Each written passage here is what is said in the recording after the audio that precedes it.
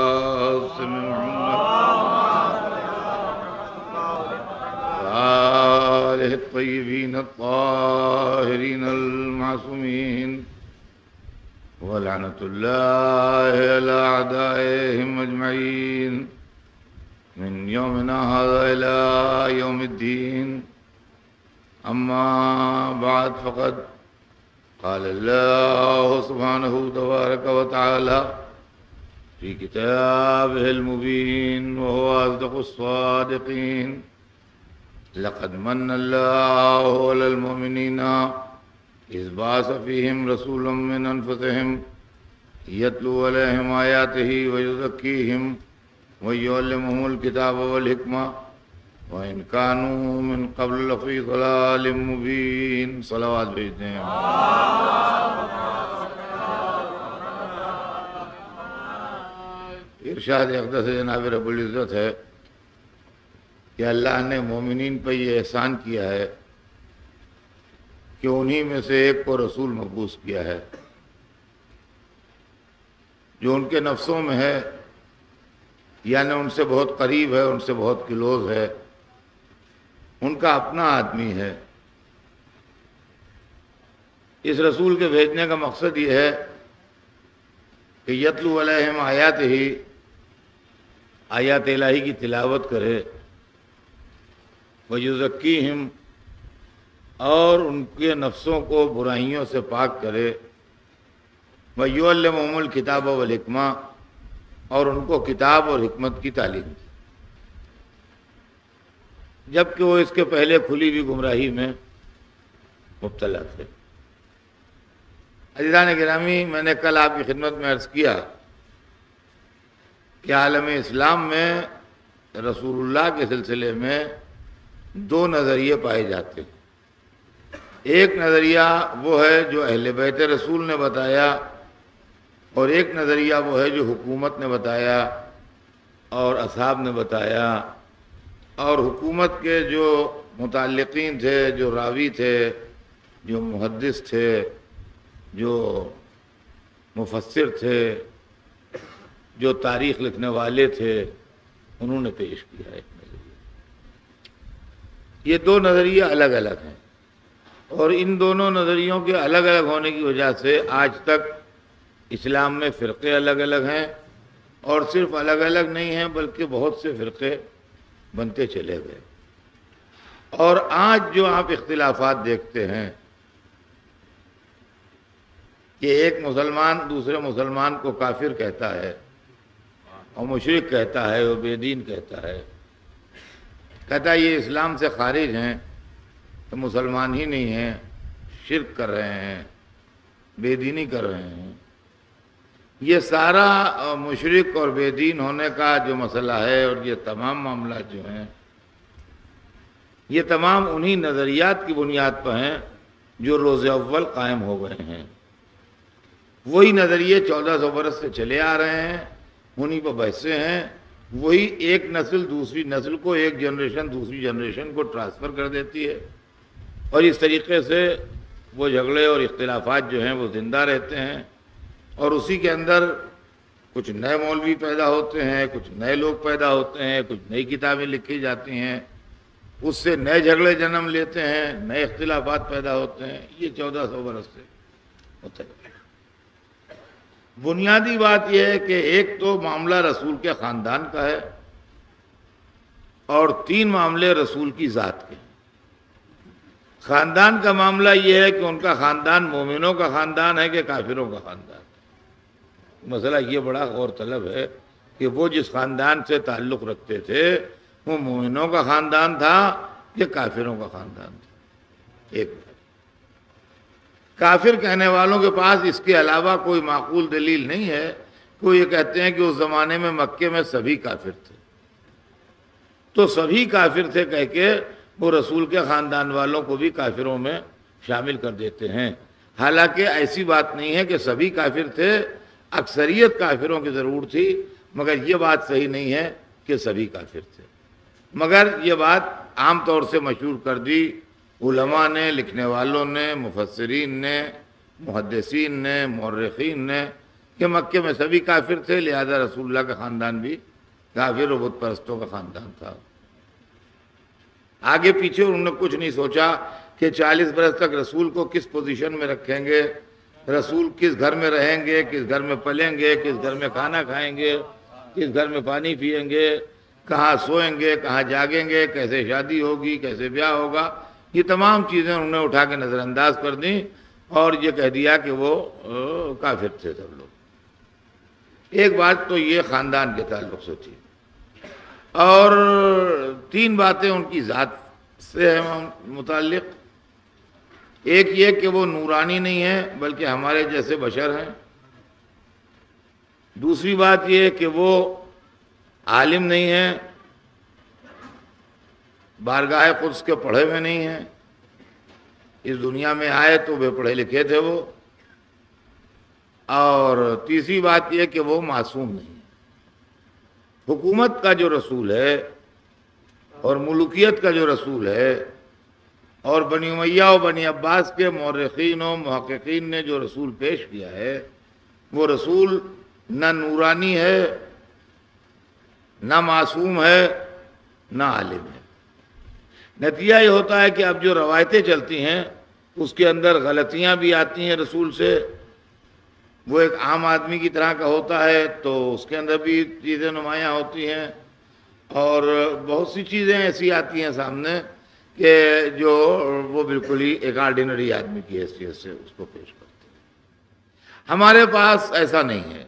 हमारे पास रसूल जो है वो नूरानी है और वो बारगाह कुछ का पढ़ा हुआ है और वो मासूम है। और ये तीनों चीज़ें, उसका नूरानी होना, उसका बारगाह कुछ का पढ़ा होना और उसका मासूम होना, इन तीनों चीज़ों को हम कोई फजीलत के ऊपर नहीं महमूल करते कि ये फजीलत है उसकी, बल्कि दीन की ज़रूरत है। अगर वो नूरानी ना होगा अगर वो आलिम ना होगा, अगर वो मासूम ना होगा तो दीन का काम सही तरीके से नहीं चल सकता है। लिहाजा उसका नूरानी होना, आलिम होना, मासूम होना ज़रूरी है। ये तीन बातें हैं जो हमने रोज़ अव्वल से कहीं, और आज तक हमारा फ़िरका, हमारा अकीदा, चूँकि मासूमिन अलैहिस्सलाम ने हमको ये बताया था, लिहाजा उनके बताए हुए तरीक़े के ऊपर हम आज तक इस बात के कायल हैं कि रसूलुल्लाह आलिम हैं, नूरानी हैं और मासूम हैं। अब इसमें जिन उलमा ने उनको नूरानी नहीं लिखा, आलिम नहीं लिखा, मासूम नहीं लिखा, उन्होंने कदम कदम के ऊपर ठोकरें कहीं। जिनमें से मैं खाली एक मिसाल आपके सामने अर्ज़ कर दूँ, उससे आपको इस बात का अंदाज़ा हो जाएगा कि क्या मसला है। आज चौदह सौ बरस से तमाम मुसलमानों की किताबों में, हमारी किताबों के अलावा, बुखारी और मुस्लिम समेत, तमाम किताबों में ये बात लिखी हुई है कि जिब्राइल आए, उन्होंने आन के रसूल का सीना चीरा और उनका दिल निकाला और दिल निकाल के उसको धोया और पाक किया और उसके अंदर नूर ईमान रखा और नुक़ कुफर निकाल के फेंका। और इस तरीके से उनको रिसालत के लिए तैयार किया। उनका कल्ब जो है, उसको रिसालत के लिए दिल को उनके तैयार और उसको धोया गया। अब उसके अंदर बड़े कलीफ होने लगे कि वो तश्त आसमान से आया था, वो पानी अर्श से आया था, और वो सोने का तश्त था। अब वो सोने का हो या हीरे का हो या जो भी हो, बहरहाल उसके अंदर उनका दिल धुला और साफ़ हुआ और उसके बाद वो सीने में रखा गया। ये रवायत जो है, ये चौदह सौ वर्ष से मशहूर। और मैं समझता हूँ कि यहाँ भी जितने लोग बैठे हुए हैं, शायद कोई ऐसा हो जिसके लिए नहीं हो, वरना हर एक को ये रवायत सुनी हुई है और हर एक जानता है कि इस तरह की रवायत आलम इस्लाम में है। कि जब्राइल ने उनका दिल निकाला और धोया और साफ़ किया। आज ये मसला पैदा हो गया कि यह रवायत जो है, ये उस जमाने के मुल्लाओं की जिहालत पर तो दलील बन सकती है। बाकी ये रवायत जो है, इसकी कोई असलियत नहीं है। अब आप कहेंगे, क्यों असलियत नहीं है? वो मैं आपकी खिदमत में अर्ज़ करूँ कि क्यों असलियत नहीं है? जैसे जैसे ज़माना तरक्की करता गया और इल्म तरक्की करता गया और मेडिकल साइंस तरक्की करती गई तो आज पहले के ज़माने में आदमी ये तस्वुर करता था कि ख्यालात का मरकज़, मोहब्बत व अदावत का मरकज़ दिल है। और ख्यालात का ताल्लुक दिल से है, मोहब्बत का ताल्लुक दिल से है, नफ़रत का ताल्लुक दिल से है, ईमान और कुफर का ताल्लुक दिल से है, अकीदे का ताल्लुक दिल से है इन तमाम चीज़ों का ताल्लुक दिल से मानता था। आज की मेडिकल साइंस ने तहकीक करके ये बताया कि दिल की कोई हैसियत जो इसके नहीं है, कि वो एक पंपिंग मशीन है, जिसका काम है कि बॉडी से ब्लड लेता है और बॉडी को ब्लड सप्लाई करता है। इसके आगे दिल की और दूसरी कोई पोजीशन नहीं है। दिल जो है, वो आज़ाए इंसानी में एक ऐसी मशीन है कि जो सारी बॉडी का खून अपने अंदर जमा करती है और उसके बाद सारी बॉडी को खून सप्लाई करने वाला भी दिल है और सारी बॉडी से खून वसूलने वाला भी दिल है। जहाँ तक ख्यालात का सवाल है, जहाँ तक फ़िक्र का सवाल है, जहाँ तक मोहब्बत और नफ़रत का सवाल है, जहाँ तक किसी से अकीदत या किसी से अदम अकीदत का सवाल है, इन सब चीज़ों का मरकज़ दिमाग है। और जो कुछ ख्याल आते हैं वो दिमाग में आते हैं। मोहब्बत का मरकज़ भी दिमाग है, नफ़रत का मरकज़ भी दिमाग है, ईमान का मरकज़ भी दिमाग है, कुफर का मरकज़ भी दिमाग है, फ़िक्र का मरकज़ भी दिमाग है। हर चीज़ जो है वो दिमाग से ताल्लुक़ रखती है। दिल जो है उसका ताल्लुक इससे ज़्यादा और कुछ नहीं है कि वो पंपिंग मशीन है, वो बॉडी के अंदर खून पहुंचाता है और बॉडी से खून लेता है। ये दो काम है उसके। एक तरफ़ वो खून ले रहा होता है, बॉडी से, और दूसरी तरफ़ बॉडी को खून सप्लाई कर रहा होता है। ये दो काम हैं दिल के। इसके अलावा तीसरा कोई काम दिल का नहीं है। ख्यालात का उससे कोई ताल्लुक नहीं है, मोहब्बत व नफ़रत का उससे कोई ताल्लुक नहीं है, ईमान कोहर का उससे कोई ताल्लुक नहीं है। ये इस्तेलाहन मुहावरा है कि हमारा दिल चाह रहा है। या दिल में ऐसा आया, या दिल ने ऐसा सोचा, न दिल में आता है कुछ, न दिल सोचता है कुछ, न दिल के अंदर कुछ ख्याल आते हैं। ये जबान है और बोलने में इस्तेमाल होता है। जिस तरीके से मुहावरे में इस्तेमाल होता है कि हमारा दिल बढ़ गया, उन्होंने ऐसी बातें की हमारा दिल टूट गया, उन्होंने ऐसी बातें की। समझे आप? तो ये तमाम चीज़ें, वरना न दिल टूटता है, न दिल बढ़ता है, ये तमाम चीज़ें मुहावरे हैं जो ज़बान में इस्तेमाल होते हैं। असली चीज़ जो है, जिससे तमाम चीज़ों का ताल्लुक है, वो दिमाग है। तो अगर रसूल को कुफर से धोया जा रहा था और ईमान उनके अंदर दाखिल किया जा रहा था तो दिल ना धुलता, दिमाग धुलवाते उलमा।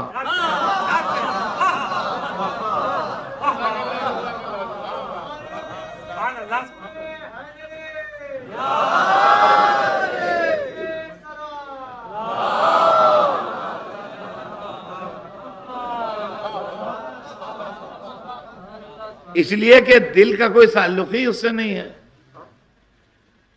दिल का कोई लेना देना ही उससे नहीं है, दिल का कोई मामला ही उससे नहीं है। लेकिन चूँकि उस जमाने में जिहालत आम थी, लिहाजा बहुत सी चीज़ें ऐसी हैं कि जो आज के पहले लोग कुछ और समझते थे, आज कुछ और है उसकी थ्योरी।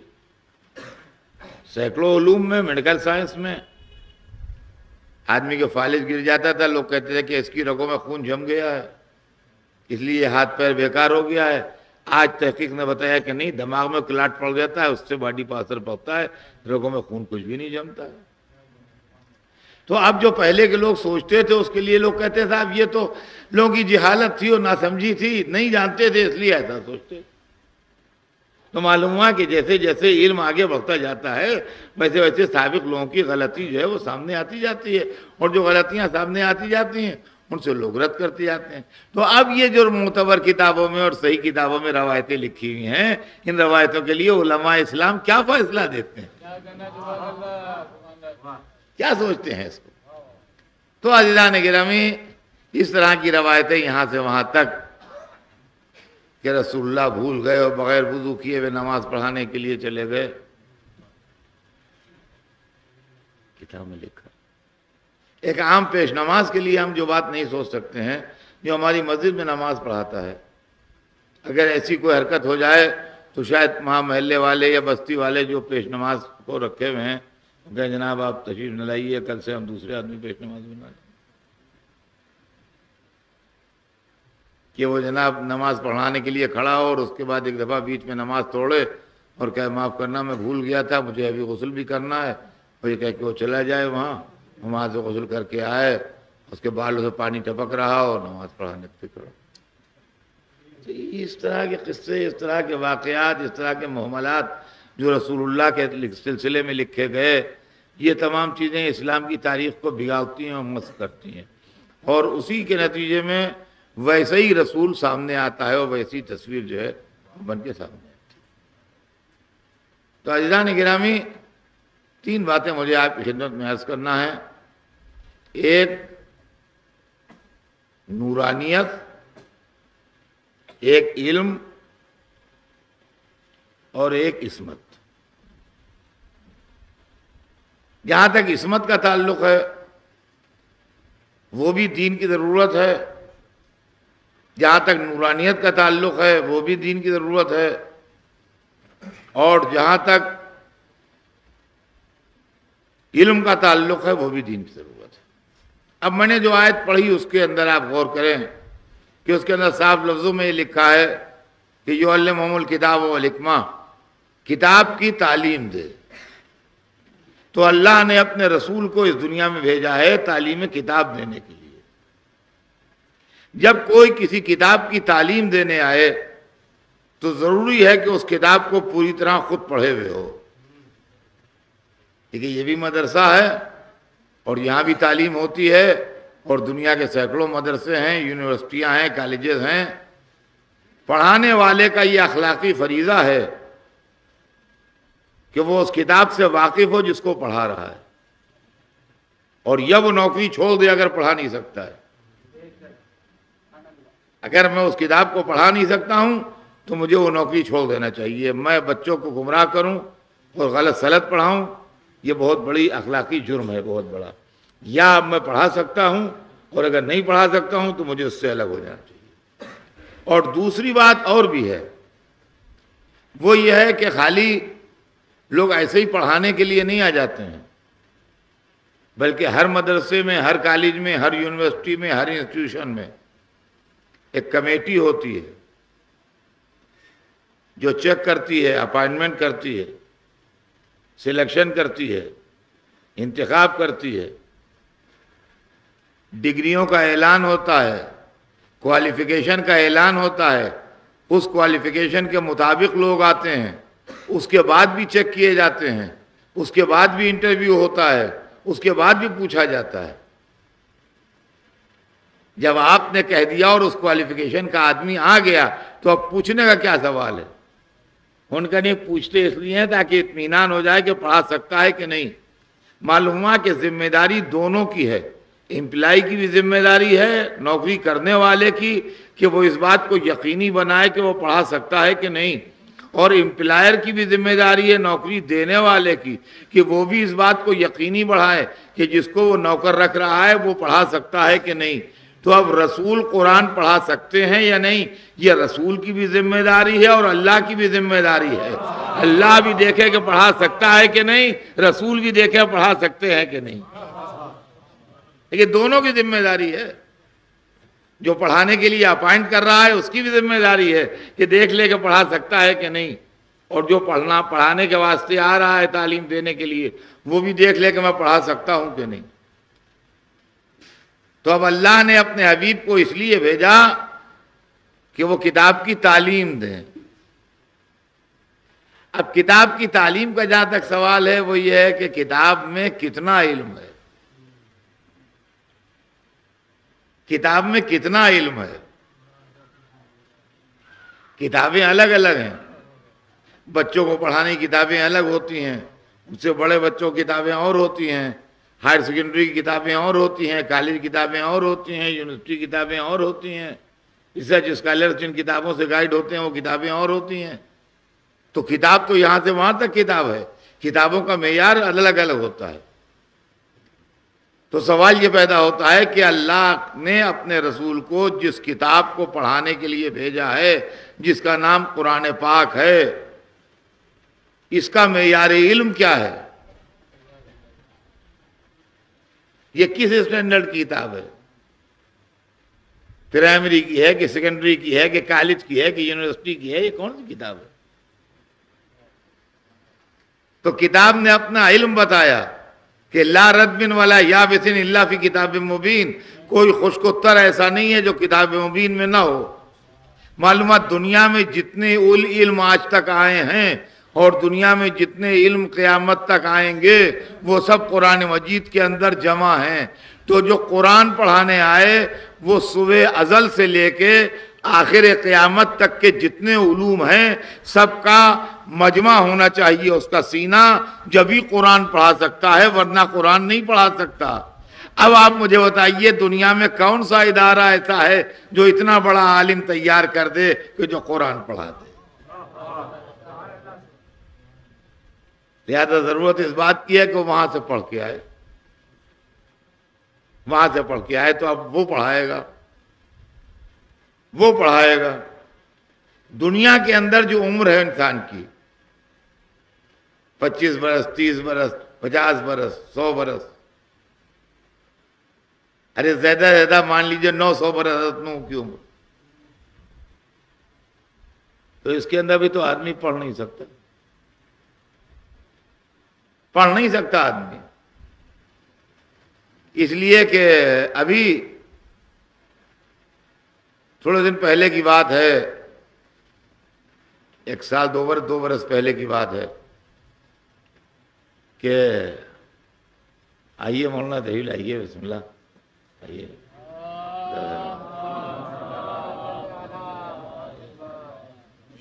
बिस्मिल्ला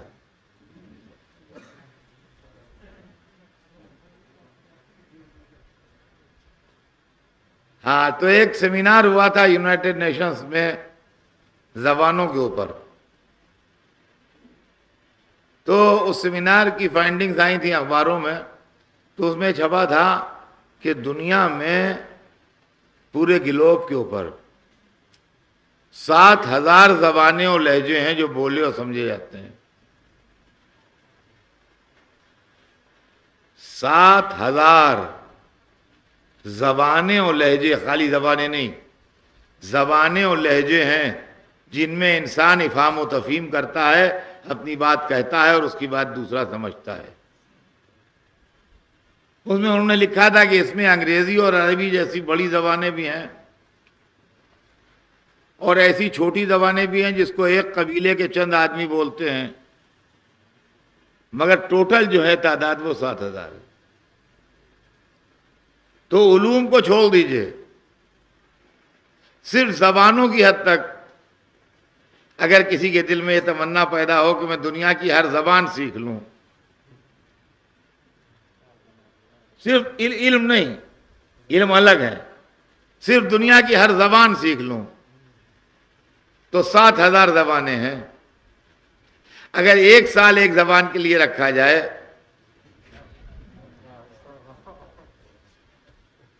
इसलिए कि बड़ी बड़ी जबानें भी हैं, उसमें एक साल ज़्यादा लग जाएगा।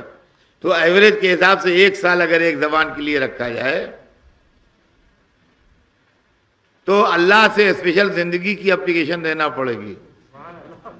कि महबूद हम जबानें सीखना चाहते हैं, लिहाजा हमको उम्र खसूसी इनायत फरमा कम अज कम सात हज़ार बरस के हम जबानें सीख लें। अब वहाँ से जवाब आया, मुबारक हो मुबारक हो, आपको सात हज़ार बरस की ज़िंदगी मिल गई, सीखिए।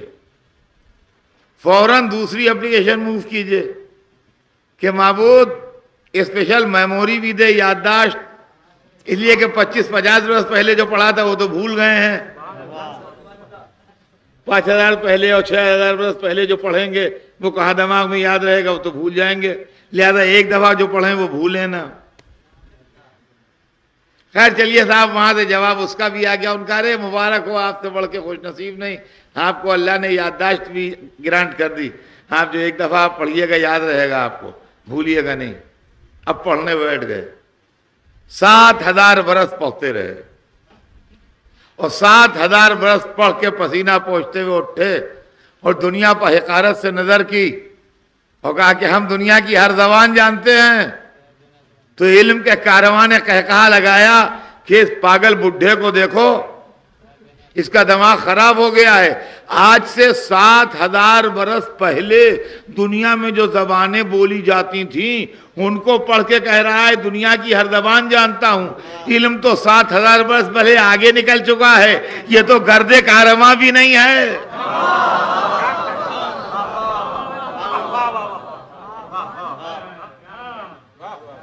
ये कौन पागल बक रहा है क्या बकवास कर रहा है? ये तो गर्दे कारमा भी नहीं है, ये मीरा कारमा बनने की बात कर रहा है।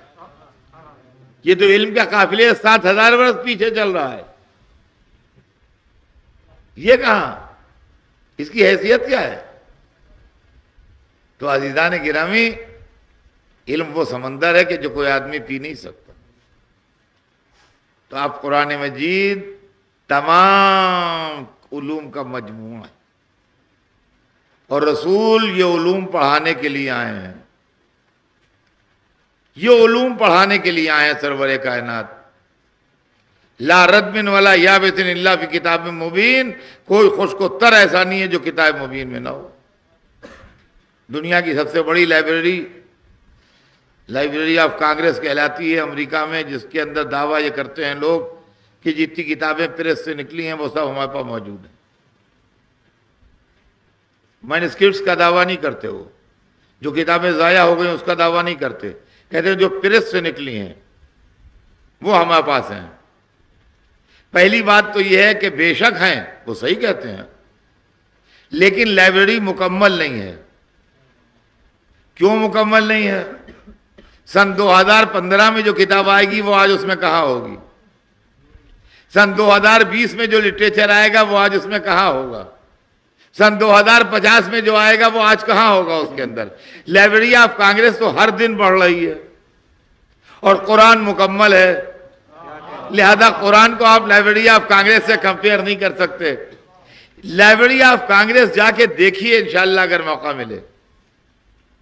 तो जितनी किताबें उसके अंदर हैं उसको देख के आप एक नज़र में ताड़ जाइएगा कि अगर पूरी ज़िंदगी आप पढ़ते रहिए तो इस लाइब्रेरी का एक सेक्शन भी पढ़ना पाइएगा। बहुत बड़ी बिल्डिंग में है। बहुत बड़ी बिल्डिंग में है। एक दिन में आप बिल्डिंग घूम नहीं सकते हैं। लेकिन उसके अंदर जो डिफरेंट सेक्शंस हैं तो एक सेक्शन के अंदर जो किताबें और अलमारियों जितनी तादाद किताबों की है, उसको देख के एक समझदार आदमी समझ सकता है कि अगर पूरी उम्र हम इसी शिक्षण में रहें तो सारी किताबें हम मुकम्मल नहीं कर सकते हैं। तो जब लाइब्रेरी ऑफ़ कांग्रेस इंसान अपनी ज़िंदगी में पढ़ नहीं सकता तो पढ़ाएगा क्या? लिहाजा अकल कहती है कि रसूल उधर का पढ़ा हुआ हो, जब ही कुरान की तालीम देगा, वरना नहीं देगा। अब जो लोगों ने कह दिया कि वो वे पढ़े लिखे थे, वो पढ़े हुए नहीं थे।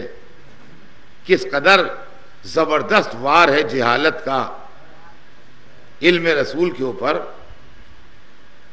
क्यों वे पढ़े लिखे थे? देखिए वही नूरानी और मादी की बात है। यहाँ से वहाँ तक इस्लाम में इख्तिलाफात नूरानी और मादी के चक्कर में चल रहे हैं। जो रसूल को मादी मानता है और बशरी मानता है, वो यही मानता है कि सन कामुल फील में पैदा हुए। जब पैदा हुए तो जो उस जमाने में बुढ़े बुढ़े पुराने अरब थे, उन्होंने उनको कहीं पकते देखा नहीं। वो अगर ये मंजर देख लेते कि रसूल तख्ती हाथ में लिए चले जा रहे हैं, उसमें दावात बंधी हुई है सुतली में दो तीन कलम जेब में लगे हैं, यहाँ बैठे अलिब्बे पढ़ रहे हैं, इसके बाद बैठे लिख रहे हैं। वो कहते, नहीं, पढ़े लिखे हमने देखा, हमारे सामने पढ़ रहे थे। ये मंदिर इन्होंने देखा नहीं। चूँकि ये मंदिर इन्होंने देखा नहीं, लिहाजा इन्होंने कहा कि वे पढ़े लिखे थे। अब कौन कहेगा वे पढ़े लिखे नहीं थे? जो इसी दुनिया का मानेगा, वो बेपढ़ा लिखा कहेगा। जो उस दुनिया का आने वाला मानेगा, वो बे पढ़ा लिखा कहेगा। फरमाया हमने। अब मेरी उम्र ज़्यादा है, आपकी उम्र कम है। मेरी तालब इलमी का ज़माना गुजर गया, इन लड़कों ने किसी ने मुझे देखा ही नहीं पढ़ते हुए।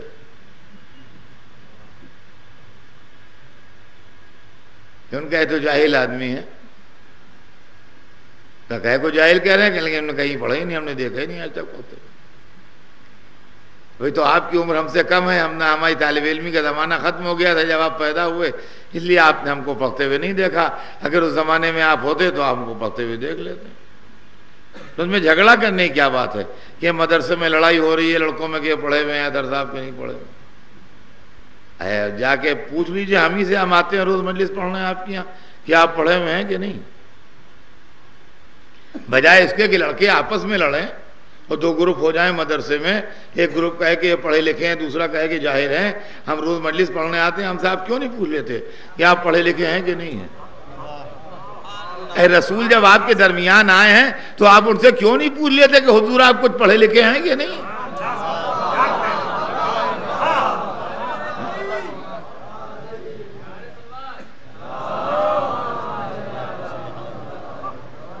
आप उनसे पूछ लीजिए कि हज़रत आप कुछ पढ़े लिखे हैं कि नहीं? और जब हमने रसूल से पूछा कि आप पढ़े लिखे हैं हजूर के नहीं तो उन्होंने ऐसी बात कही जो दुनिया में आज तक किसी ने कही नहीं। कह लिया, ना मदीनतुल इल्म। मैं तो इल्म का शहर हूँ। मैं तो इल्म का शहर हूँ। और दुनिया में रसूलुल्लाह से पहले न किसी ने अपने को इल्म का शहर कहा। न रसूलुल्लाह के बाद किसी ने अपने को इल्म का शहर कहा। एक ही आदमी है पूरी दुनिया में जिसने कहा, मैं इल्म का शहर हूँ। वरना ये हमने सुना कि इल्म का दरिया है, और इल्म का समंदर है, और इल्म का खजाना है, लेकिन ये किसी ने नहीं सुना कि मैं इल्म का शहर हूँ। रसूल ने तनहा अपने लिए कहा है कि मैं इल्म का शहर हूँ। और इस जुमले की बलागत समझिए, इल्म के शहर की क्या बात है? इसलिए कि रसूल के सीने में है इल्म कुरान। कुरान में है तमाम तरह के इल्म। दुनिया में जितने आलिम हैं, वो इल्म की दुकानें हैं। देखिए बात समझिएगा जरा, मैं तोहिन आमेज नहीं कह रहा हूँ जुमला। जो आप समझिए, मैं किसी की तोहिन कर रहा हूँ, किसी पढ़े लिखे की। जितने आलिम हैं, वो इल्म की दुकानें हैं। दुकान का क्या मतलब है? मतलब यह है कि जिस दुकान में जो कारोबार होता है और जो दुकानदार है, वो उस फ़ील्ड का एक्सपर्ट होता है। दूसरी चीज़ नहीं जानता। जिसकी गल्ले की दुकान है, वो गल्ले के बारे में जानता है। सोने का भाव उसे नहीं मालूम है। जिसकी सोने की दुकान है, वो इलेक्ट्रॉनिक आइटम नहीं बता पाएगा।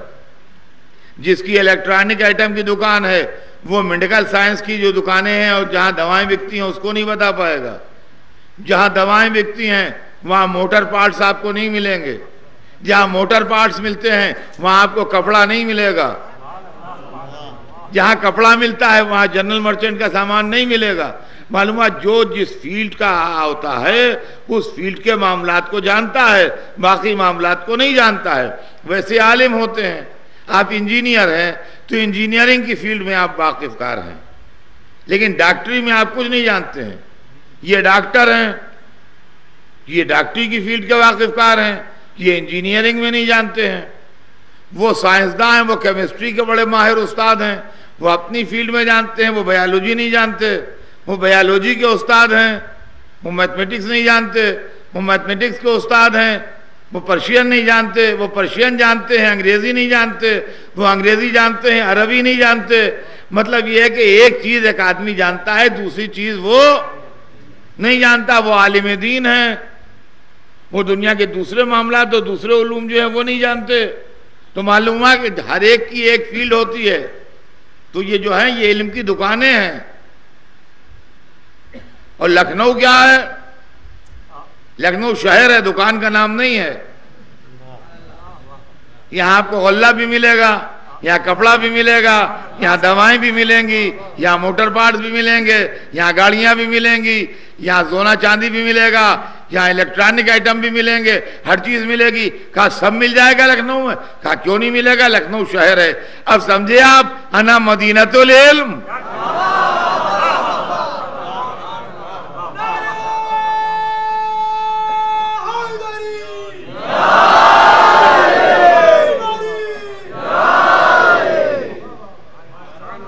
इल्म का शहर हूँ। मैं इल्म का शहर हूँ। और इसीलिए हदीस के दो टुकड़े हुए। अना मदीनतुल इल्म, वो अली उन बाबा मैं इल्म का शहर हूँ, और अली उसका दरवाज़ा है, जिसको दरवाज़ा बनाया। उसने मेंबर बैठ के कहा, सलूनी। ये सलूनी नहीं है, दरवाजे और बैनर लगा के यहाँ हर माल मिलता है। इलाहाबाद भेजते हैं मोहम्मद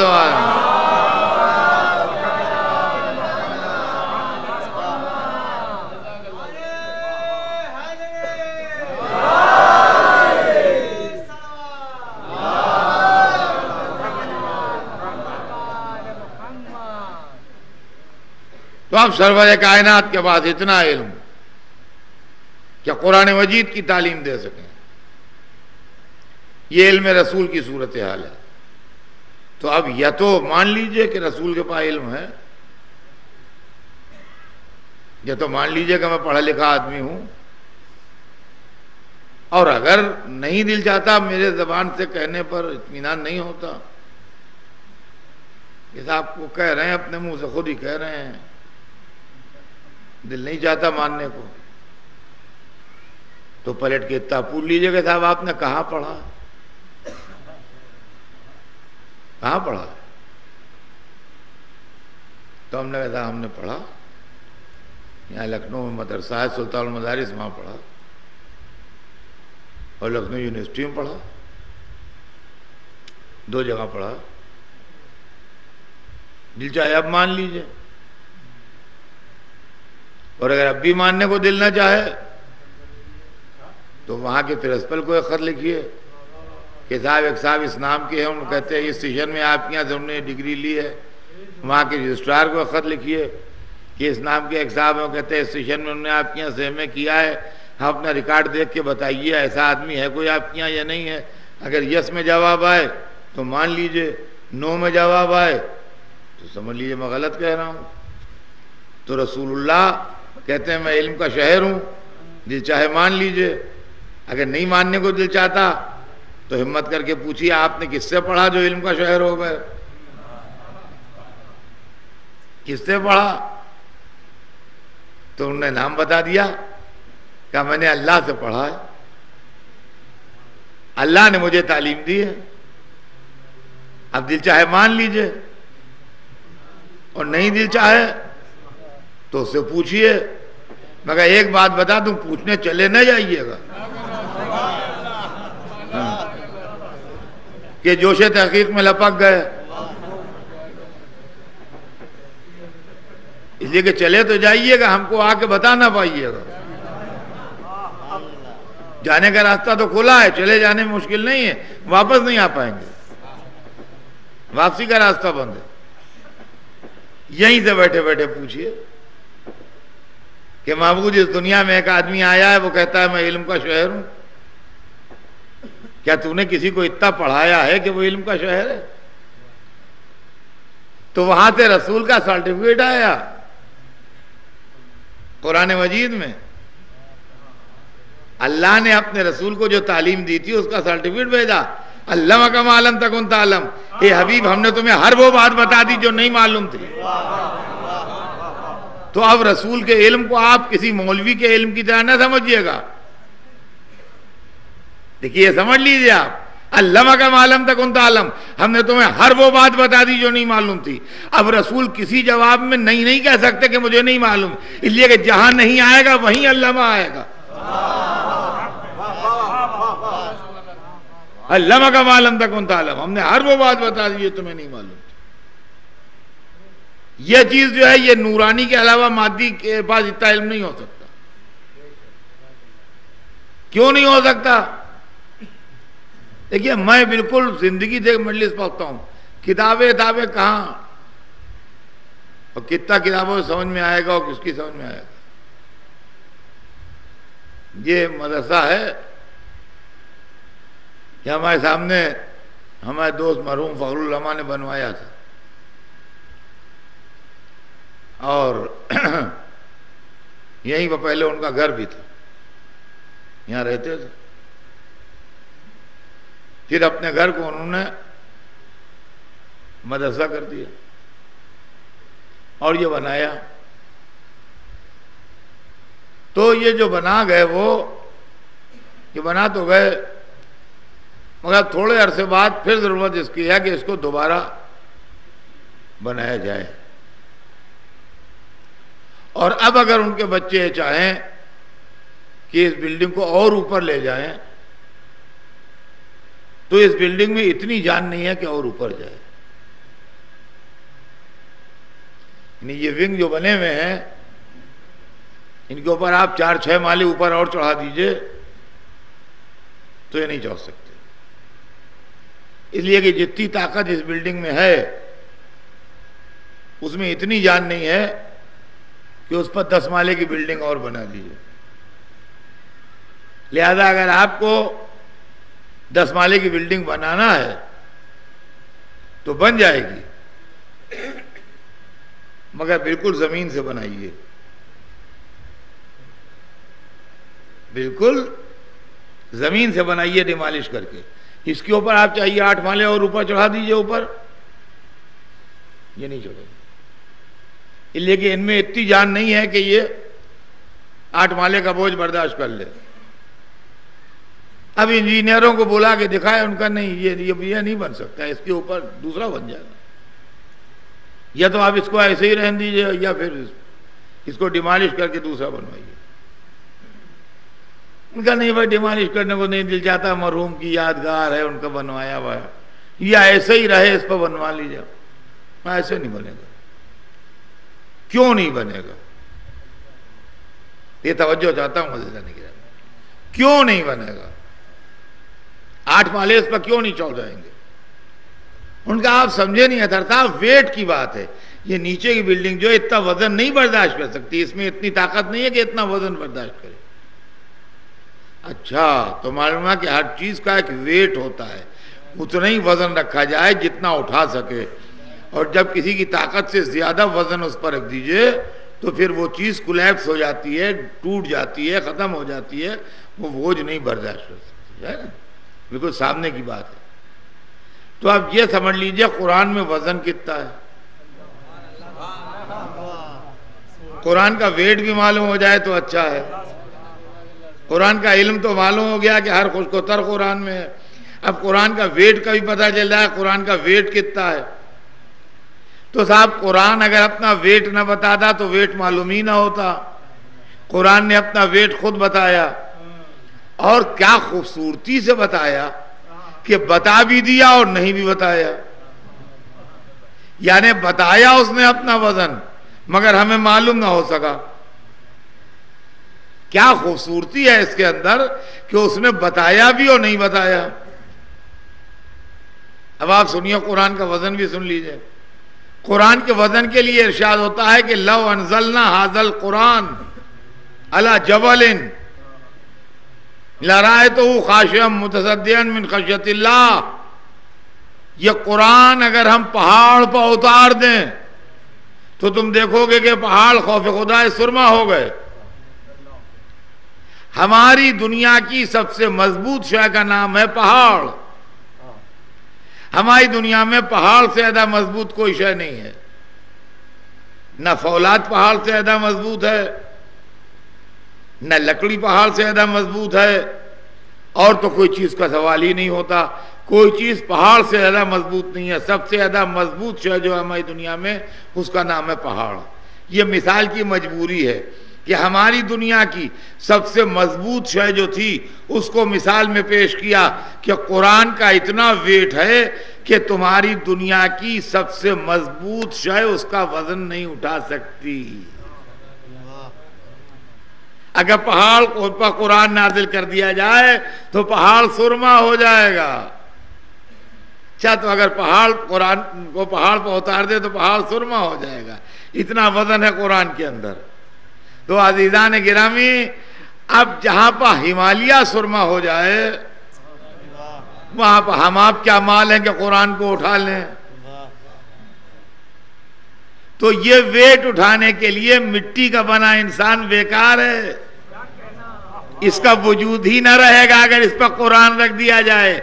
ज़रूरत इस बात की है कि कुरान का बोझ जो उठाए, वो नूर का बना हुआ हो। जब ही कुरान का बोझ उठा सकता है, वरना नहीं उठा सकता।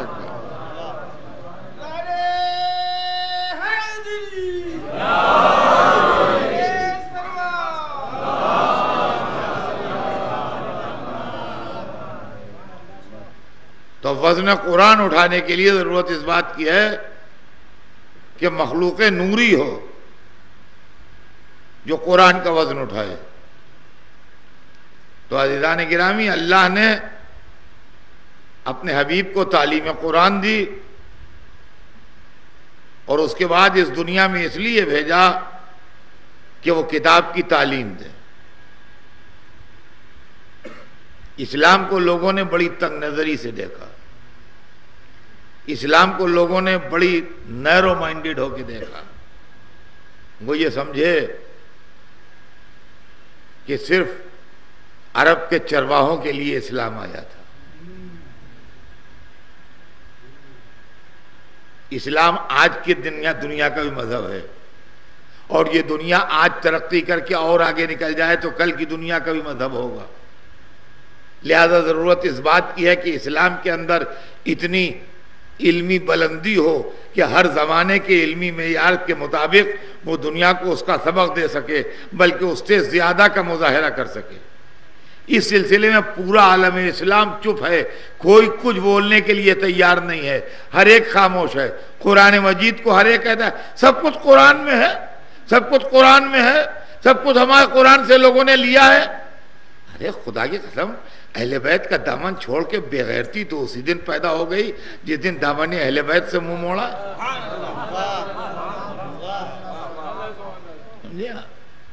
यहाँ सूरत हाल यह है कि तिजोरी रखी हुई है, वहाँ बिस्तर बिछा हुआ है, और ज़मीन में लेटे हैं, भूखे प्यासे मक्खियाँ भिनक रही हैं। और कह रहे हैं, तिजोरी हमारी है, इसमें सब कुछ है। इतने बड़े बड़े हीरे हैं कि कोहनूर कोई चीज़ नहीं है। इतने बड़े बड़े याकूत हैं कि एक निकालें तो सारी दुनिया को हम खरीद सकते हैं। इसके अंदर इतना ये है, इतना वो है, इतना वो है, जो कुछ है वो सब बता रहे हैं, ये है, वो है। फुला चीज़ है और फुला चीज़ है। मगर इसके अंदर क्या है कि इसके अंदर ताला लगा हुआ है, कुंजी नहीं है इसकी। कुंजी नहीं है इसकी भैया, ताला लगा हुआ है इसके अंदर। कुंजी नहीं है इसके अंदर। लिहाजा मियाँ, आप क्या बताएँ, हम कुछ मज़ा चाय पिला दो। सवेरे से यूँ बैठे में से मांग के चाय पी ली। भैया ज़्यादा खाना ले आओ, कहीं से खा लें। भूखे हैं सवेरे से। अम्मा, तुम हमको गरीब ना समझना। ये कानून का खजाना, कोई चीज़ नहीं, जो कुछ इसमें अरबों रुपए की मिलियन ट्रिलियंस की दौलत है। अमेरिका अमेरिका क्या है? हम एक अमेरिका खरीद कर छोड़ देंगे अभी। भीड़ी निकालना।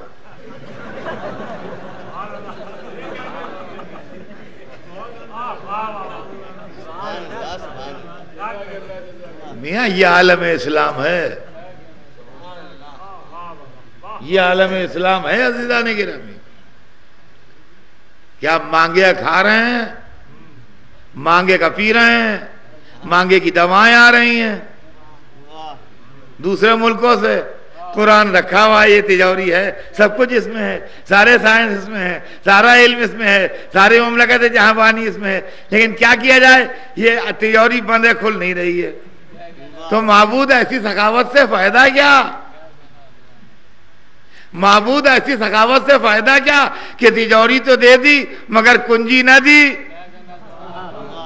हम फकीर के फकीर ही रहे, मुमकिन है जवाब क्या पकता है हमने तिजोरी भी दी थी, कुंजी भी दी थी, तुमने खुद ही किताब काफ़ी कह के कुंजी लेने से इनकार कर दिया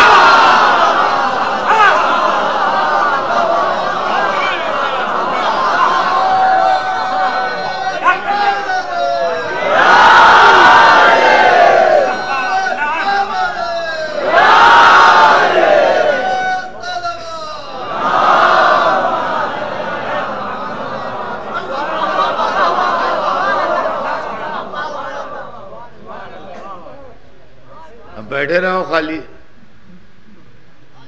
पेट में पत्थर बांधे। तो आजान गिरामी, सूरत हाल जो है वो ये है आलम इस्लाम की। ये सब साइंस हमारे हैं। ये सब उलूम हमारे हैं। ऐसा हमने बताया दुनिया हमें एक साइंटिस्ट ने आज तक कहा कि ये हमने कुरान से लिया इस्लाम से लिया है। कोई हो तो रिकॉर्ड बताइए। तासुब करते हैं। तो किसी मुस्लिम साइंसदान ने कहा होता।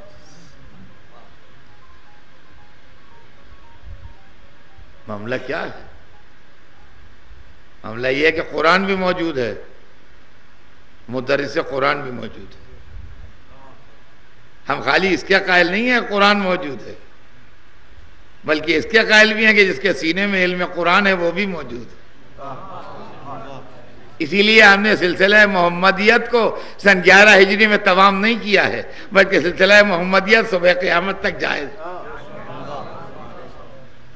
लिहाजा किताब हिकमत की तालीम देने वाला सुबह क़्यामत तक मौजूद रहेगा, ताकि दुनिया जिस मंजिल पर देखे, उस मंजिल पर उसको साबित हो जाए कि हक क्या है और बातिल क्या है। बाजिदान गिरामी कल इंशाला अर्ज़ करूँगा आपकी खिदमत में कि नूरानियत क्या है और इल्म क्या है? आज मैंने इख्तिसार के साथ आपकी खिदमत में अर्ज़ किया कि इल्म, रसूल मकतब कुछ के पढ़े हुए, वहाँ से तालीम हासिल करके आए, अल्लाह की बारगाह से लेके आए। इंसान दो तरह के हैं, एक वो इंसान है जो पढ़ने आए, एक वो इंसान है जो पढ़ाने आए। हम वो इंसान हैं जो पढ़ने आए हैं। हमारी निशानदेही भी कुरान में है। हमारे लिए कुरान कहता है कि अखराजकुम मिन बुतून उम्मातकुम ला तालमुना शया। तुम माँ के पेट से इस तरह बाहर आए कि कुछ नहीं जानते थे, जाहिल थे। यह हम आप सब इंसान हैं, जो जाहिल पैदा हुए। और वो इंसान जो पढ़ाने आए, वो आलिम आए। वो आलिम आए। और ऐसे आलिम आए कि या तो उन्होंने दुनिया में आते ही कहा कि मुझे किताब दी गई है और मुझे नबी बनाया गया है। या उन्होंने रसूल के हाथों पर कुरान पढ़ के बताया कि हम पढ़ने नहीं आए हैं, पढ़ाने आए हैं। तो वो लोग, हमारी तरह के लोग नहीं हैं। हम जब नासमझ होते हैं, बच्चे होते हैं, कुछ नहीं जानते। आहिस्ता आहिस्ता थोड़ा थोड़ा इल्म हमारे अंदर आता है तो हम बोलना शुरू करते हैं। और एक एक लफ्ज हम अदा करते हैं। और उसके बाद हमारी जबान साफ़ होती है, खुलती है। फिर उसके बाद जबान में किसी हद तक फसाहत तो बलागत आती है। जुल्म की अदायगी के सलीके आते हैं। किसी एक जबान के अंदर बोलने की थोड़ी सी लियाकत पैदा होती है, यह हमारी जबान है। लेकिन वो जो उधर से पढ़ के आते हैं, वो नूरानी लोग होते हैं। वो जब दुनिया में आते हैं, जब बोलते हैं, एक दिन की उम्र में आगोश रसूल में कुरान पढ़ते हैं, और जब दुनिया से चले जाते हैं शहादत के बाद भी बोलते हैं। और कटे सर से नैजे पर कुरान पढ़ते हैं। गिरामी, दुनिया नूरानियत मोहम्मद वाले मोहम्मद से कैसे इनकार कर सकती क्या दुनिया कुरान के उस पढ़ने वाले को भुला सकती है, जो बाज़ार कूफा में नैजे पर कुरान पढ़ रहा था? हमारी जाने निसार हो जाएँ, उस कुरान पढ़ने वाले पर जो बाज़ार कोफा में तिलावत कलाम मजीद कर रहा था। अकल बशर हैरान है और फ़िक्र इंसानी समझ नहीं सकती उसकी अजमत को और उसकी जलालत को जो ऐसे आलम में कुरान पाक की तिलावत कर रहा था। अजीदान गिरामी, ये बात हर एक की समझ में आएगी नहीं उस वक्त तक। जब तक कि नूरानियत मोहम्मद वाले मोहम्मद सलाम समझ में ना आए। जो अपना जैसा बशर समझेंगे, उनकी समझ में कभी तिलावत कुरान ना आएगी। लेकिन हुसैन ने राह शाम में यहाँ से वहाँ तक हिदायत के मोती लुटाए। कितने मौके ऐसे हैं जो सर मुबारक ने गुफ्तु की पहला मौका जो तारीख वही लिखती है, जब भरे हुए बाज़ार कूफा में सूरह कहफ की तिलावत हो रही थी। बहन भाई की तिलावत सुन रही थी। एक मलूना ने पत्थर उठा के मारा और जैनब का कलेजा टुकड़े हो गया। सर चोबे महमिल पदे मारा, काहे फलक इमामत के चाँद। अभी कमाल को न पहुँचा था के दवा दूसरी मंजिल फिर हमें नज़र आती है कि राह हिदायत दिखाई राह शाम में। एक मंजिल के ऊपर तारीख बताती है कि एक राहब था, उसका दैर था, चर्च था और चर्च के नीचे काफिला ठहरा हुआ था, छोटी सी पहाड़ी थी, उसके ऊपर चर्च बना हुआ था। नीचे काफिला ठहरा था, रात को उसने ऊपर से देखा तो एक तरफ़ तो उसने देखा एक फौज पड़ी है, एक तरफ़ कुछ कैदी बैठे हैं, जो इबादत कर रहे हैं, जिनके चेहरे ज़िक्र खुदा से चमक रहे हैं, और जो उस आलम में भी सजदे कर रहे हैं। और कैदियों ही के करीब उसने एक मंजर अजीब देखा, जो उसको सबसे ज़्यादा अजीब लगा, और वो ये कि एक संदूक रखा है, और संदूक से एक रोशनी निकल के आसमान तक गई। एक अमूद नूर है, एक पिलर है कि रोशनी का, नूर का। तो ये संदूक से निकल के आसमान तक गया। उसको सबसे ज़्यादा अजीब चीज़ जो लगी, वो वो नूर जो निकल रहा है संदूक से, उसको अजीब लगा। वहाँ से वो उतरा, फौज वालों पास आया, कहा, ये बताओ कि संदूक में क्या है? तो उन बेगैरतों ने जवाब दिया कि इसमें एक शख्स का सर है। एक कटा हुआ सर है जो इसमें रखा है। वो राहब अल्लाह वाला इंसान था। दुनियादार राहब नहीं था। उन्होंने कहा, क्या थोड़ी देर के लिए सर तुम मुझे दे सकते हो? तो उन लोगों ने जवाब दिया, नहीं, हम ये किसी को नहीं देंगे। ये तो हम अपने अमीर को तोहफे में ले जाके पेश करेंगे गैरत इस्लाम को शर्म ना आई कि मोहम्मद के नवासे का सर अबू सुफियान के पोते को तोहफे में दिया जाए। राहब तजुर्बेकार आदमी था, वो समझ गया कि ये लोग कैसे लोग हैं। वहाँ से हटा नहीं, उसने कहा, देखो, ऐसा है कि मेरा दैर सामने है, चारों तरफ़ तुम्हारी फौज है, मैं सर लेके कहा चला जाऊँगा? मेरे पास पाँच सौ दिरहम है। मैंने अपनी पूरी ज़िंदगी में जमा किए हैं। मैं तुम्हें पाँच सौ दिरहम दे दूँ। तुम थोड़ी देर के लिए सर मुझे दे दो, मैं तुम्हें वापस कर दूँगा। मैं ले नहीं जाऊँगा मुस्तकिल। थोड़ी देर के लिए रखूँगा अपने पास, उसके बाद तुम्हें वापस कर दूँगा। थोड़ी देर के लिए मुझे दे दो। जब पाँच सौ दिरहम की बात आई तो कहा अच्छा दिरहम लाओ, पहले भी बात करना। वो दिरहम लेके आया। जब उन्होंने दिरहम देख लिए तो कहा अच्छा ठीक है, जल्दी वापस कर देना। कहा अभी वापस कर देना उसको सर हवाले किया, वो अपने सीने से सर मुबारक लगाए हुए अपने देर में आया। एक बड़े मुतबरक मकाम पर बुलंद मकाम पर सर रखा, कुछ रोशनी की, कुछ खुशबू सुलगाई और उसके बाद हाथ जोड़ के बैठा। अल्लाह की बारगाह में उसने हाथ उठाए, कहा, पालने वाले, तुझे ईसब ने मरियम का वास्ता इस सर को हुक्म दे कि मुझसे बातें करे। वो राहब था, मगर समझ गया कि ये सर बातें कर सकता है। कटे होने के बावजूद बातें कर सकता है। कहा, इस सर को हुक्म दे कि मुझसे बातें करे। एक मरतब अल्लाह भेले, आवाज़ आई, पूछ क्या पूछना चाहता है? कहा इतना बता दीजिए कि आप कौन है? तो सर से आवाज़ आई अनबन मोहम्मद मुस्तफ़ा, मैं मोहम्मद मुस्तफ़ा का बेटा हूँ। अनबन अली मुर्तदा मैं अली मुर्तदा का बेटा हूँ। अनबन फातिमा जहरा, मैं फातिमा जहरा का बेटा हूँ। यहाँ तक पहुँचे थे राह तड़प गया, कारे में पहचान गया, आप हुसैन इब्न अली हैं। आपको जालिमों ने शहीद कर डाला, आपको जालिमों ने मार डाला। इधर ज़ाहिर राह तड़प रहा था, उधर सर कह रहा था, अना शहीद अनल मजलूम अनल तशान मैं वो हूँ जो तीन दिन का भूखा प्यासा शहीद